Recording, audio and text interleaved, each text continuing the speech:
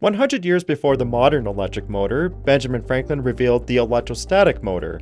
It works on the principle of attraction and repulsion between charged surfaces. Leyden jars would alternate between positive and negative charges, and this would rotate the thimble capacitors. However, the RPM was very low, and the torque was minimal. It never took off, so to speak, and it was quickly sidelined by the magnetic motor by Michael Faraday in 1821. However, the electrostatic motor still has several advantages over the modern magnetic motor. It does not need heavy magnets, complex coils, or steel laminations. And the simplicity of the electrostatic motor gives it an advantage when it comes down to a microscopic level. The potential of the electrostatic motor was not realized until the mid 20th century, and it quickly became prominent in MEMS devices, which combine mechanical and electrical components on a single chip.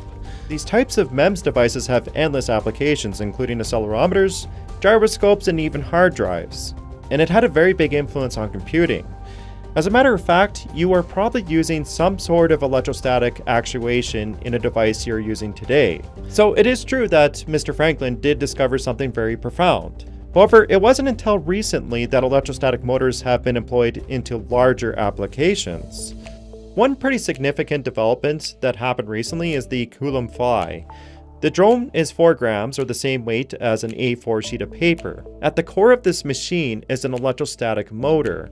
Its rotors are made of fiber and aluminum foil. These blades spin between electrodes arranged in the ring. When a high voltage is applied, the blades are pushed around by the electric field. A lightweight solar panel outputs at 4 volts, and a converter ramps this up to over a power level of 9000. However, instead of firing ki blasts, this drone can fly indefinitely. Or pretty much as long as there is a light source.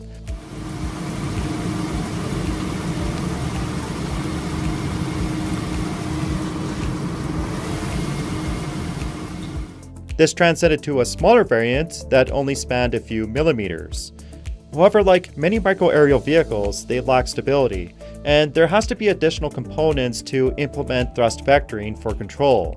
Another version of this, which many consider to be the solid state version, is the electrohydrodynamic thruster. Instead of opposite polarities in the rotor and stator, this particular setup utilizes an electric field to generate a plasma of ionized air. The ions are drawn towards a negatively charged grid, and these collide into neutral air molecules and impart momentum. Even though this design was tethered at the time, it might be possible to build a self-sustainable power source like the Coulomb Fly. Another inventor which I highly recommend and I've covered before is Ethan Cross. He has built larger self-sustainable ion craft, which can be controlled and fly for several minutes, which is a pretty impressive feat for something out of somebody's garage.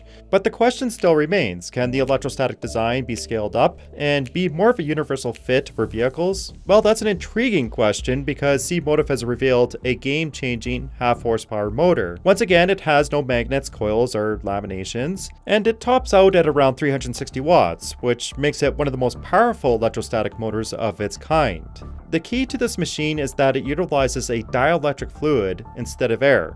A dielectric has the property of transmitting electric force without conduction. So it's an insulator and it prevents the machine from arcing over. I kind of think of it as holding two magnets close together.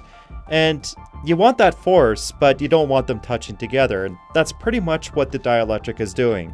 Another really good way you can look at how a dielectric fluid is effective is in a wire EDM machine. These types of machines use an electrode to cut material.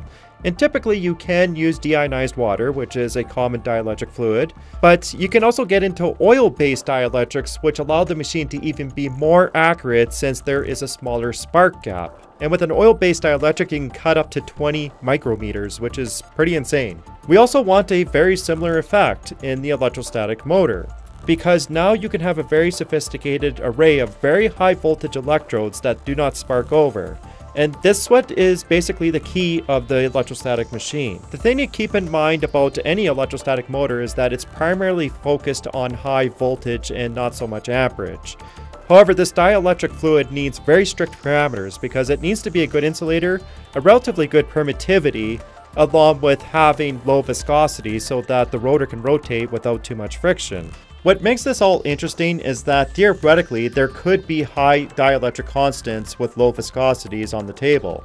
Computational engineering may find that set of dielectrics that exhibit high thermal stability with those constants.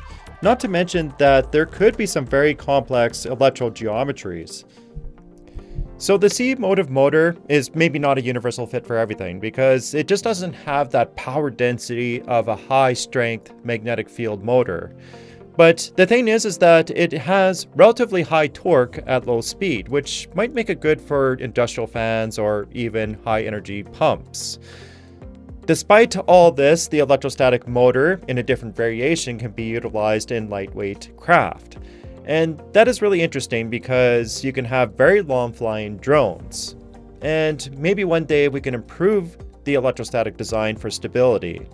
But more importantly, I would like to know what you think. So please leave a comment, like the video if you enjoyed it, and make sure to subscribe to my channel.